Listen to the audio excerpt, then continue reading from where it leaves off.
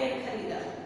सेजल ने एक गुड़िया भी मिली मेला घूमकर सब खुशी खुशी घर वापस आ गए। सेजल ने एक गुड़िया भी खरीदा